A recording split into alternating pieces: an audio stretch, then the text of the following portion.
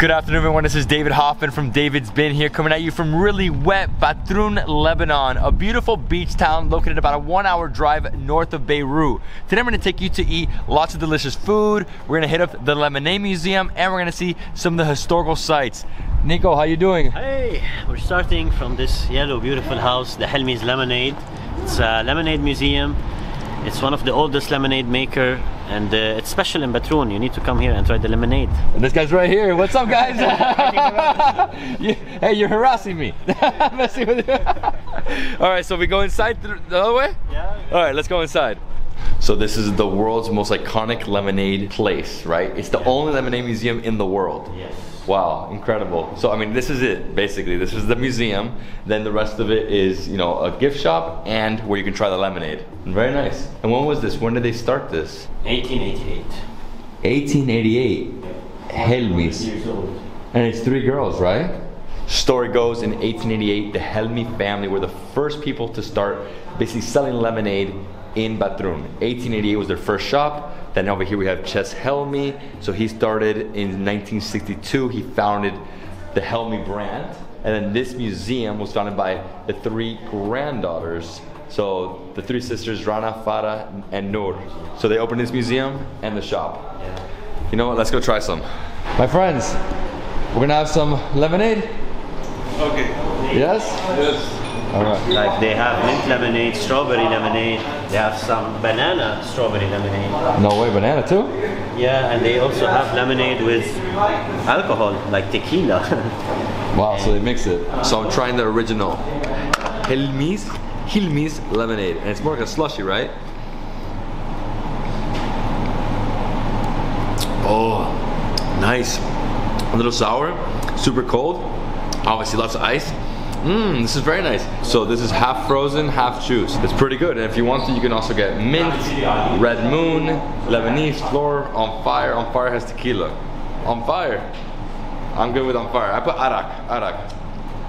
I'm messing with you guys.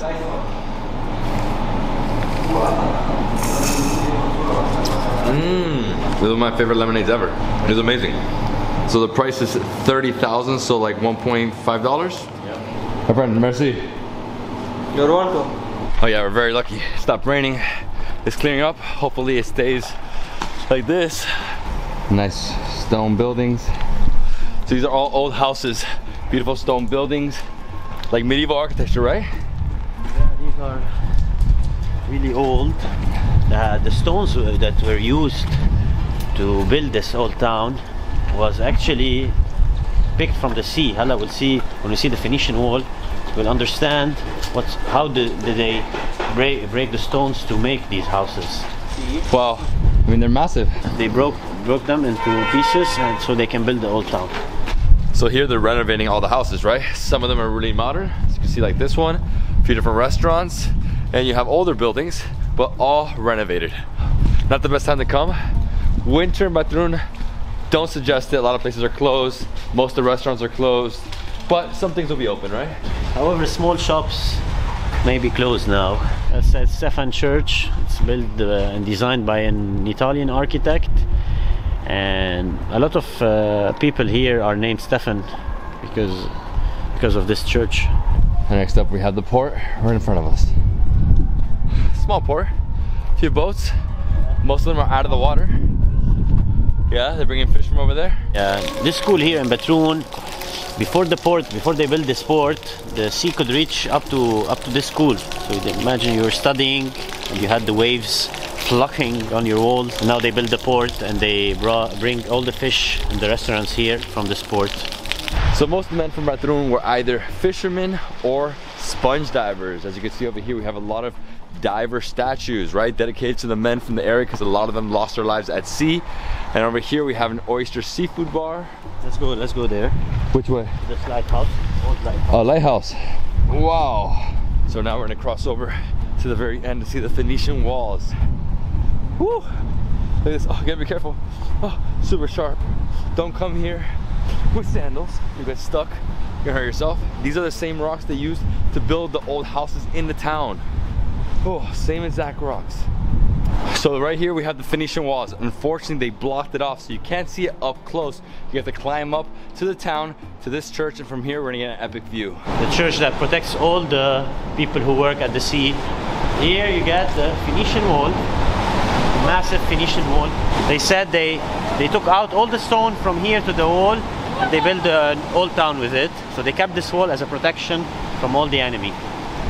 So basically what we were standing on, they carved down and then they made a wall with it, right? So they used the rest of the stones to build all these houses. Wow, massive wall. It looks like I'd say four meters high, something like that, right? Yeah. And you know, you have the waves breaking on it right now, winter. Over here we have a few, a few people looking over, and this is the church. Church of Lady of Sea from 1863. And that was the Phoenician walls. Really beautiful, ancient, you have to see that. Now we're gonna walk through the old town to a beach, Bassa Beach. Yeah, Bassa means pebble. It's the it's a small pebbles beach located in the middle of Bet- Betroun, where people usually come and tan, bring some drinks. Again, this is a summer destination. And this is the beach, as you can see, lots of pebbles, but it's really high tide right now in winter. You have a few restaurants here. Cafes where you can have a coffee or a drink by the beach. Plenty of them here. Now only one is open. The one thing you guys gotta do when you come to Batroun is have a seafood sandwich. This is in the center of town and it's called George Maruf Seafood and Snack. They have calamar, they have raw fish sandwich, they have fish, they have uh, shrimps. Try the raw fish one. Raw fish it is, let's do it. It's called balamida. It's uh, red uh, red meat fish. Looks like, like tuna. Yeah, it looks very similar to tuna. Very nice. They add some soy sauce. Soy sauce, making it a little Japanese, huh? That's it. So super simple. Thank you, my friend. Merci. And I went with the raw fish. Okay. Mm-hmm. Basically sashimi. Mmm. Nice soy sauce. Pita bread. Not hot. Cold. Mmm. It's like a seafood wrap, right? Oh, it's very nice. So you can have many uh, seafood delicacies in a sandwich. So you got shrimp, octopus, squid, and then this raw fish. Amazing. Mm-hmm. Mmm. Basically, sashimi in a sandwich. So I asked for spice, and they gave me some chilies. Right? So I'm just gonna add a little bit there. Mm. Much better now. Yeah, much better like this. Not too spicy, just right. Mm-hmm. Mmm. Amazing. Mmm. Dude, I can eat one of these every day. Here on the beach, one of these, maybe two. One calamari. I'm gonna try the calamari. You try the calamari? Yeah, I'm gonna try the calamari. And what is he heating it up with there? Some sauce? Oh, so he's heating up the calamari. Yeah. Nice. Oh wow, beautiful. The calamari. Mm. Lime juice, coriander, and olive oil, plus salt. Mm-hmm. Eh, Some zatar. Nice. Oh wow. Yeah, so extra more. Oh yeah, gonna toast it. Nice. Nice. So he chops it up in, into like four pieces, Yes. right? Okay, so this is easier to share. Chokran, merci. This is you, bro. Give Manja, me, manja. Give me my calamari. Mm. Wow, look at that, guys. Beautiful. That looks tasty. Mm. Super tasty. Mm. And it's spicy? Yes. I feel like I should have got this one first. it's my jam. Mm-hmm. Calamari with spices. Yep. Mmm. Like the sea. That's when you know it's fresh. Fresh from the seas. حبها أكتر. The zatar. This with the spice. With the hot calamari. And all the ingredients inside. Plus, I like how they made it a little crispy. They heated up the the wrap, right? The pita. So I'm gonna keep that last piece for later. So it's 100 total, right? So 100 is like five US dollars. Merci. Merci. Thank you so much. Appreciate it. Appreciate it. I had no idea there was a brewery here in Lebanon. Let's go. It's gonna be good. I need a good ale. Craft beer in Lebanon plus gin and vodka. Hello. Hello. Dude, it's raining too much. What's up, man, David? Doing good? Pleasure, man. Let's do this. Yeah, so Jamil, so tell me about your brewery and what do you guys do here? Vodka, white rum, and Ara. Of course, Ara. It's our local uh, uh, uh, alcohol. So it's made from uh, alcohol coming from grapes, and uh, I had with anise. Anise, it's a botanical ingredient. You know it. So we mix them together in the distillery to make our uh, Ara, and Ara goes very, very well with our cuisine. So people when they eat like lunch Lebanese cuisine, uh, Ara goes very well, especially with the meat and the fish. So this is the main building in the brewery, right? They brew the beer, but they also distill the gin, the vodka, and the arak. Yeah, eight years ago when I opened the brewery and when I started with the beer, the main idea was to give an identity and create uh, an experience at Colonel. So this is how I brought together uh, the sports that I love to the concept and also the eco-friendly aspects. So the roof you see here, this is all made from recycled plastic bags, and all the wood in the structure is made from uh, shipping wood pallets. And also all the machines that we boil with, all are made with condensers. We collect water, and we uh, uh, we like we plant all the plants uh, all over the concept that you see outside. As well, also we are I'm, I'm on the way, hopefully, to make the brewery a zero waste brewery. We saw the brewery. Now let's go try some beers. Yep. Wow, look at these boards. They have longboards here, and the bar is by the water. Let's get there. Got that gin. Hello. All right. Beautiful. My friend, cheers, cheers, cheers, cheers, cheers, cheers. And this is the unfiltered lager. Smooth. Mmm, ice cold. I love it. For me, unfiltered, way better. Always. Always, right? Cheers. Here, one more time, my man. Thank you so much. See, with the lagers, you can just drink it all day. All brewers like lagers because they can continue, right? With the ales, it gets a little tough. Yes. A bit more tough. A bit more tough. Next up, we're gonna do the passion fruit beer. So the passion fruit beer is basically the lager, but they put passion fruit syrup on top. Okay? That's unique. It's different. I love it. Passion fruit lager. Mmm, nice. Yeah. It's very nice. Summerish. Summerish, exactly. I mean, with the, you know, with the sun, with the beach out there, having some fish, this would be great. yeah. Dude, I'm dreaming of it. So I have to come back here, what, July? Definitely. Definitely. Right. Enough of the beer. Let's have a little bit of vodka.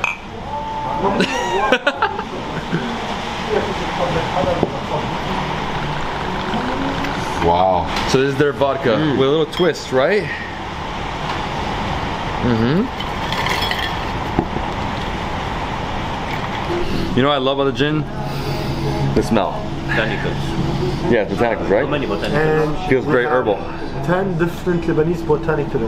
I wanted to give it an identity, Lebanese identity. So got that gin. I, after like a search and ex- like experience and searching what can we use from our botanical ingredients, I picked 10 local botanical ingredients. If you live in Batroun, you'll be happy. Exactly. I'll tell you, this is probably my favorite gin ever. It's amazing. This is my favorite gin. So juniper is what makes gin, but then they added so many different things. You got coriander, cardamom, you got lemon, verbena, fennel seeds, lavender, mint, lemon. So good. And the final thing to try is arak. This hara is a real Lebanese hara, handmade Lebanese hara. You can't really find it. It's like you're making it at home with 100% alcohol from grapes and 100% fresh anise. This is our hara I love ara. To be honest, this is one of my favorite drinks ever. Mmm. Mm. Good here. So Amazing. milky, Wow. delicious. Oh wow, this is super smooth. Mm, Silsil. Mm-hmm. Not strong. Mm. And then if you want, you can buy it in the liter. Wow, what a beautiful bottle. Look at that. I love this guy. I'm gonna, I'm gonna put this guy right here. it's good. It's like amazing, Arak. I love Colonel. Colonel, the Colonel. Colonel Brewery, incredible, right here on the beach. They also have food, so we're staying for dinner, having some drinks, relaxing. It's a really rainy day. So we're just gonna chill, hang out. We rented an Airbnb nearby, so is very, very convenient for us. All right, we're going inside. Rita, take me to the back. How you guys doing? Good? So what are we doing tonight? Everything. Okay, so you're having mutabbal, fish kibbeh, uh, shrimp rolls, tajin, and uh, that's it, I think. And uh, I hear the rain. The rain is intense today. It's been a super wet day. And that's the fried seafood platter or combo, right? Great. You're like a doctor. Mm. It smells so good. So good. Just butter, oil, and shrimp. But now he's gonna add some lemon zest, right? Yeah. Lemon. This is Lebanese cuisine. Always some lemon. Garlic. Oh. It's heaven, guys. The garlic hits you. Oh, so pungent. It's like so good. I mean, it's like smoking here.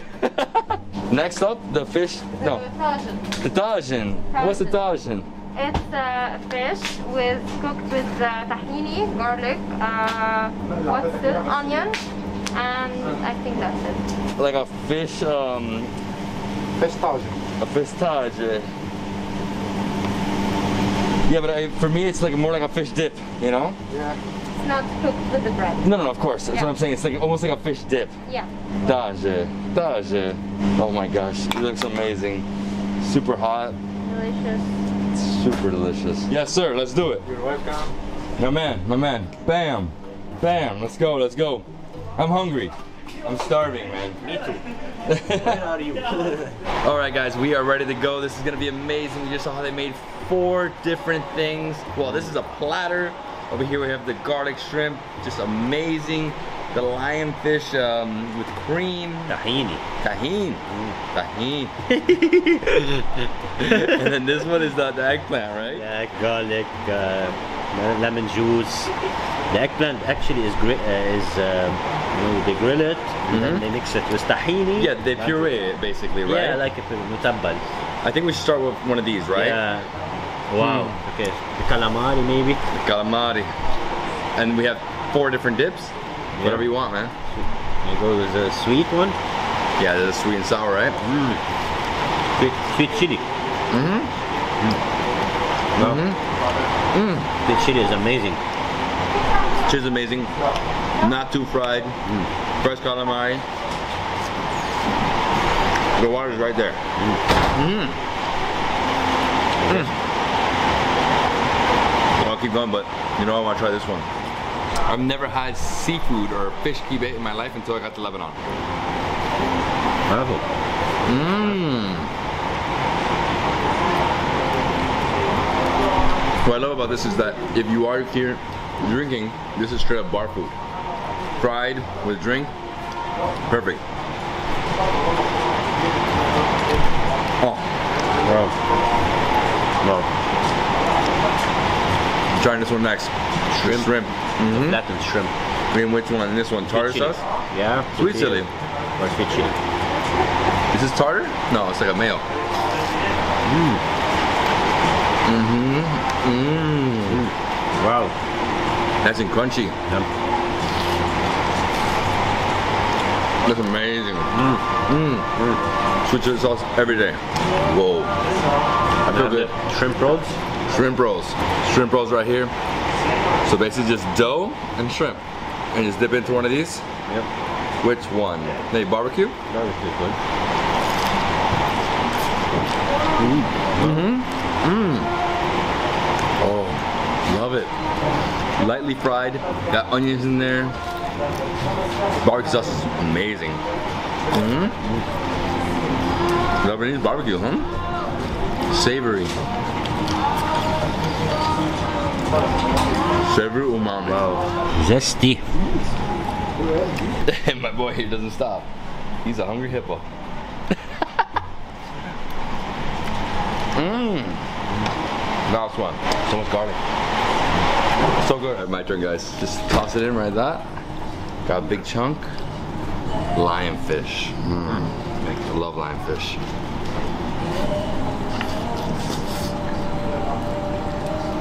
Mmm. Mmm. Again, the lemon. Lemon, the pita, mm. the almonds, Everything. combination. Everything. Textures, flavors. This is Lebanon. This is Lebanon right here. Mm. The last thing we're trying is the thing we should have tried first. Yeah, you, you start with this one. You start with the dips. Oh, bro, I beat you to The it. mutabbal or baba ganoush. Mm-hmm. Mm. Mm. That's not baba ganoush. That's mutabal. Who cares? Just eat. I mean, wow. There's a slight difference between them. Slight difference, right? No, last bite. This is filling me up. Mm. That's Batroun. Yeah. Lemonade Museum. Phoenician Walls. Old Town, Old Town. seafood sandwiches, seafood meze, Uh, bars, brewery. brewery, gin, beer. You have to come out here. Well, only one hour north of Beirut. Come in June, July. This is a different place. Totally different. We'd have a party right downstairs in June, July. Another video, thumbs up, comment below, subscribe to my channel for more awesome travel content. We'll see you tomorrow. Somewhere in Tripoli. Goodbye. oh man. Rita, call my Uber.